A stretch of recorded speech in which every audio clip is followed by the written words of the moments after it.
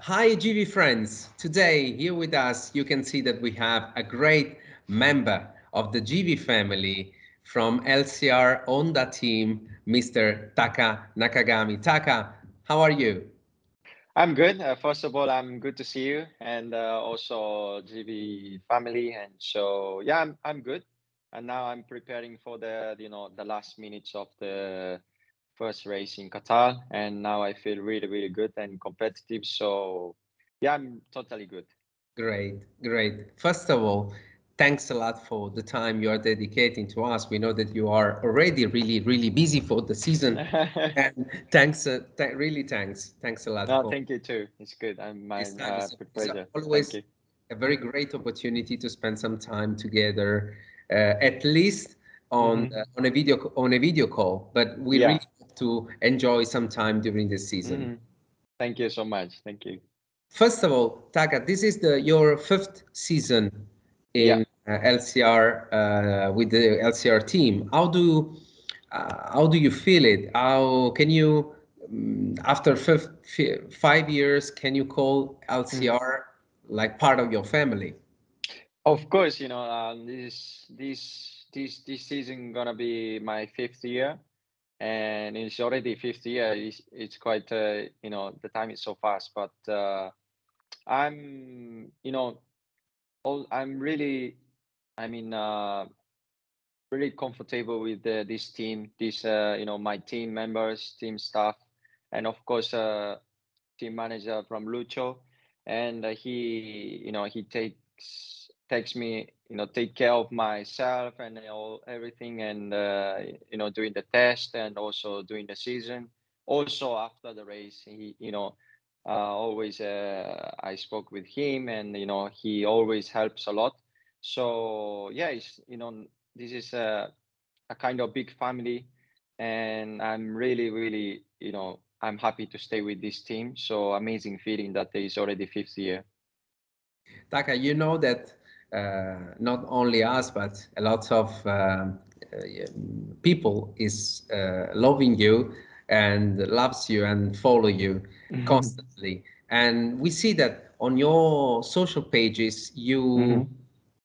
usually practice a lot uh, in terms of sports, mm -hmm. and not only uh, motorbikes. Uh, how much is important to for you and in this sport to to train your body and constantly. Mm. well of course every year you know uh, the bike is changing and uh, also the lap time is going faster and faster. It's mean for the physically it's like a more demanding um, i mean uh, to prepare more uh, i need to like a little bit modify or a little bit more weight uh, of my body and uh, more endurance. And so it's mean like i do of course like a workout in the gym like a basic uh, you know uh, weight training and also some core training and also some uh, balance of you know balance training and also swimming and uh, bicycle of course for endurance outside. And uh, other thing that uh, i used to I using like a flat track bike it's not motocross. I, because i mean i I cannot say I don't like it, but is I'm not good level, uh, you know, for the motocross. So I decide to, you know, don't take a risk because uh, during the season or, you know, I need to practice and then I don't have time to, you know, to little by little. So it's better to use a flat flat track bikes. It's mean like a no jump and just uh, on the sand and uh, just, you know, try to uh, to training about uh, the control on the bike. So it's many things, but uh, yeah, and physically it's totally good. I'm really happy what I have uh, my physical condition at now, and um, it was good. But you know, every day we need to keep training quite hard, and then you know, sun, normally Sunday a little bit less, and the Monday have to uh, restart again. So almost never stop. Very good. Very good. Winter tests just finished. Uh, mm-hmm. First Sepang and then uh, Mandalika. Your your impression about 2022 bike? There there are a lot mm-hmm. of improvement we see, yeah. what your what you're feeling? First thing that the as you can see that from the outside, our bike, uh, 2022 bike is uh, a great change. Yeah, big change. You can see that from the outside easy, easily, and also inside, which is when I when I ride a bike and new bike, which is a uh, different feeling. I mean, uh, first impression was uh, okay. This is I need to understand. I need to adapt uh, this different feeling. But uh, day by day or lap by lap, I understand I start to understood that this bike had have a big potential. So it's been much better bike than uh, last year's bike. And uh, you know, last year's 2021 bike was, uh, you know, our Honda is a little bit uh, weak point was uh, rear grip, and everybody was the same comment, and uh, it was quite difficult to find a solution. But yeah, this year's bike 2022 bike is uh, huge different and a big improvement about uh, the rear grip. So yeah, I'm quite happy and a big surprise when I when I jump on the bike because uh, you know totally different feeling. But uh, I'm you know everybody's a positive comment. Also, uh, you know we as well. So um, I, I can't wait. Uh, you know the first race in Qatar. You know after uh, Sepang test and also Mandalika test, we are, you know, definitely step by step improving, and um, I can say that we are ready to, you know, to make a successful uh, season in, in 2022. And we hope so. Yeah. for sure, for sure. Uh, we know that Asian fans and supporters mm-hmm. are crazy you know mm-hmm. passionate and so so much crazy mm-hmm. uh, tell us what try what tricks the most uh, what what was uh, impressive well, uh, yeah um one thing that the a few few few weeks ago first time i went to indonesia and for the mandalika test. And uh yeah from when landed in Lombok Airport is already, you know, the fund is waiting, and also a lot of fans uh, in the paddock, and also grandstand, and uh, it's nice to see. And uh, yes, you know, it's different between like a Japanese fan and uh, Indonesia and the Malaysian fans, also Thai fans. And the Japanese fan is a little bit more like uh, I don't know how I can say that. A little bit more shy, I think. But uh, Indonesia fans is like uh, a little bit more European style, and but it's nice, really, really nice to see. I'm, I mean, very, like uh, they are very warm welcome.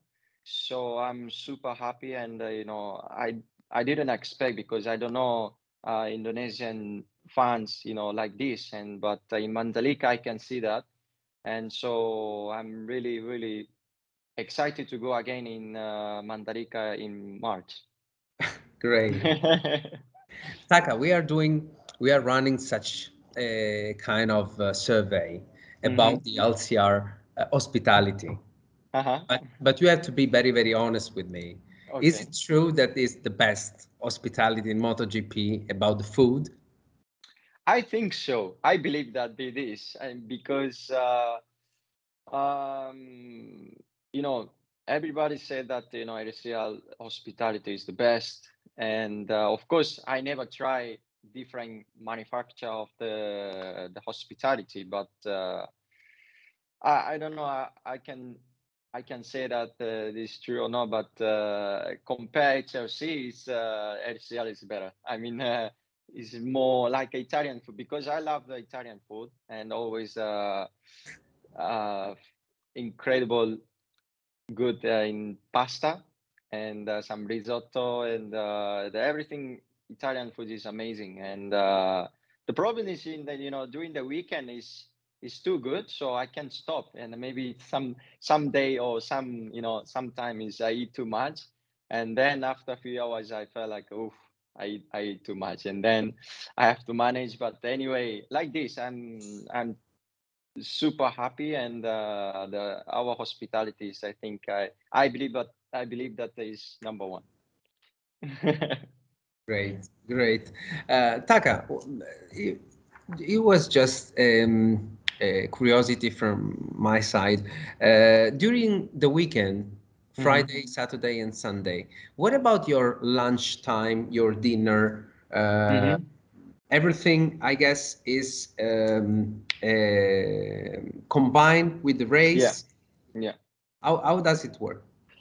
Well, uh, normally of course, Friday and Saturday a little bit uh, different timing, so uh, I need to adjust. But uh, normally, Friday, for example, Friday after the F between FP1 and FP2, I normally have to eat uh, uh, lunch, so around uh, twelve thirty, and then Saturday is a little bit earlier, around eleven forty-five. Um, then dinner is around eight or seven thirty normally. It depends uh, mechanics. And mechanics, you know, able to finish a little bit earlier. We take our lunch together around seven thirty. If not, uh, I wait them and uh, around eight p.m. But normally dinner time is seven thirty or around eight.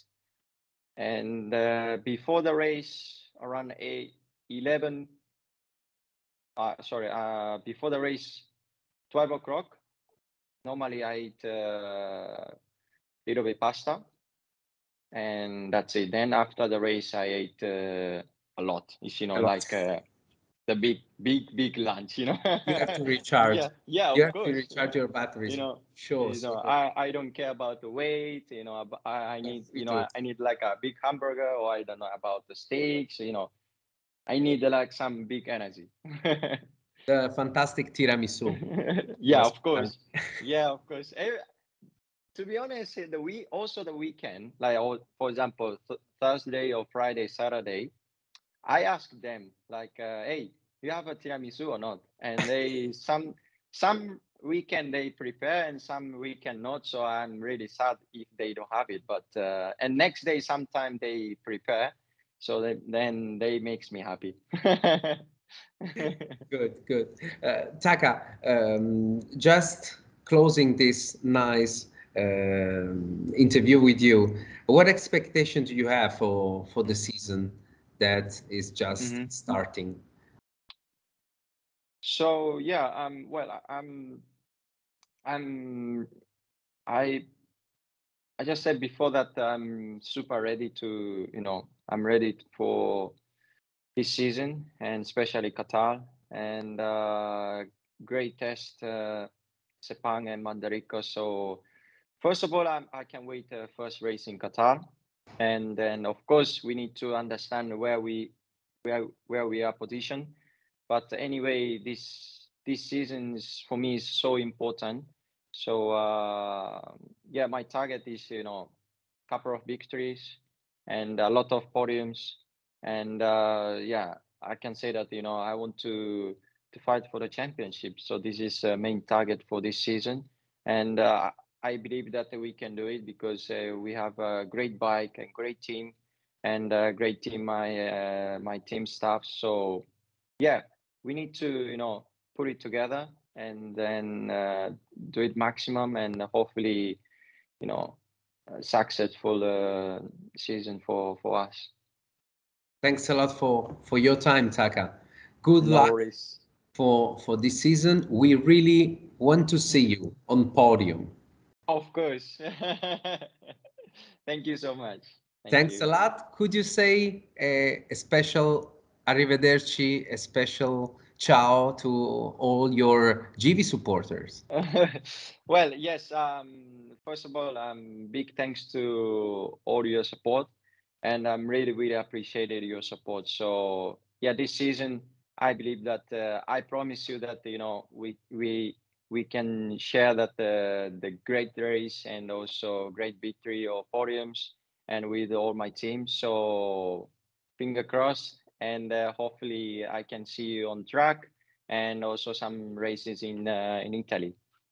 Grazie. Thanks, Taka. see you soon. Thanks for your see time. You. Thank ciao, you. Bye. Ciao, ciao.